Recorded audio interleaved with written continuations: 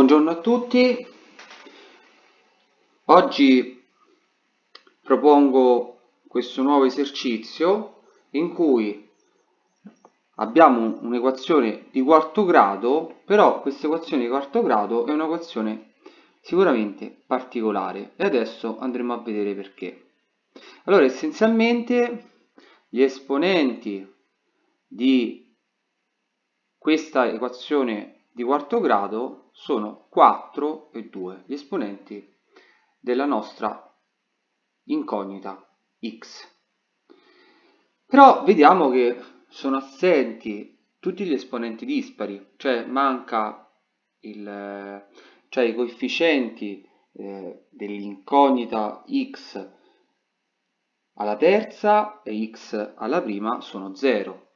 Cioè capite bene che qui non c'è scritto perché 0 è l'invariante dell'addizione, però se avessimo voluto scrivere l'equazione presentando tutti i termini della x, avrei potuto scrivere più 0x alla terza più 0x. Allora, eh, in questo caso, cioè questo tipo di equazione prende il nome di equazione trinomia di quarto grado.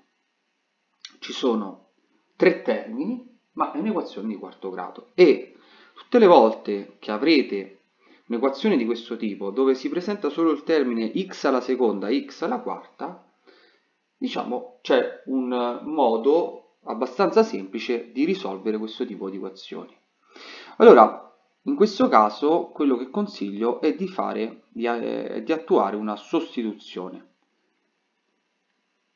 Cioè, se noi chiamiamo x alla seconda uguale t, quindi usiamo una variabile di appoggio, la nostra equazione diventerà 4t alla seconda meno 25t più 36 uguale a 0. E questa, la riconoscete bene, è un'equazione di secondo grado. Quindi con questa semplice sostituzione siamo riusciti ad avere un'equazione di secondo grado. Diciamo che meglio rendere l'idea, essenzialmente, io questa equazione 4x alla quarta meno 25x alla seconda più 36 l'avrei potuta riscrivere come 4x alla seconda tutto alla seconda, dove x alla seconda è proprio il nostro t, più, anzi scusate, meno 25x alla seconda, dove x alla seconda è proprio il nostro t, c'è un termine nodo uguale a 0. Quindi in definitiva verrà 4t quadro meno 25t più 36 uguale a 0. Allora andiamoci a calcolare subito il discriminante di questa equazione. Allora, discriminante ricordo essere b quadro meno 4ac, b è meno 25, quindi meno 25 al quadrato meno 4 per, che moltiplica 4 è 36. Allora in questo caso eh, 25 alla seconda è 625 e 4 per 4 16 per 36 576 e ottengo che il nostro discriminante è proprio 49 quindi è anche maggiore di 0 ricordo che il discriminante maggiore di 0 significa che le soluzioni, ci sono due soluzioni distinte ok avremo una soluzione T1 e una soluzione T2 andiamo a, risol a risolvere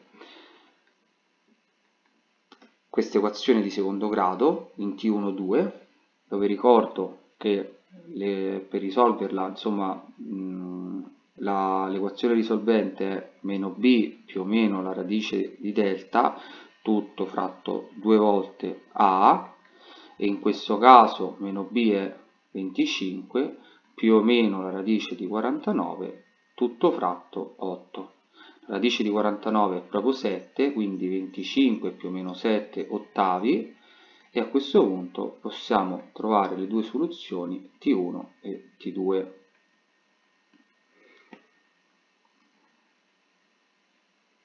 Ovviamente io come soluzione 1 vi consiglio sempre di mettere quella eh, la soluzione più, mm, più, piccola, quindi 25 meno 7 fratto 8, 25 meno 7 è 18, 18 ottavi è 9 quarti,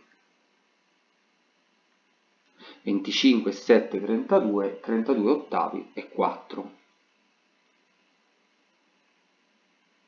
Allora, adesso quello che ci rimane per risolvere l'equazione di partenza è andare a fare un piccolo ragionamento sulla sostituzione che abbiamo fatto. Cioè, noi abbiamo detto che T1 è uguale a 9 quarti, ma ricordandoci che t è uguale a x alla seconda, sappiamo che x alla seconda è 9 quarti. Ma se x alla seconda è 9 quarti, allora x sarà più o meno la radice di 9 quarti. Quindi segue che x è uguale a più o meno la radice quadrata di 9 quarti, ma la radice di 9 è 3, la radice di 4 è 2 e quindi è più o meno 3 mezzi. La soluzione T2 per la quale abbiamo il valore 4, analogamente sappiamo che t pari x alla seconda, quindi x alla seconda è 4, da cui segue che x è uguale a più o meno la radice di 4 ed è più o meno 2. Allora in questo caso abbiamo trovato le quattro soluzioni dell'equazione di, quarto grado, ovviamente un'equazione di quarto grado avrà fino a quattro soluzioni distinte e in ordine le soluzioni sono meno 2, meno 3 mezzi, 3 mezzi e 2. Io vi ringrazio per l'ascolto, se avete richieste particolari particolari potete lasciarle nei commenti, se vi è piaciuto il video lasciate mi piace e iscrivetevi al canale. Vi ringrazio, vi auguro buona giornata.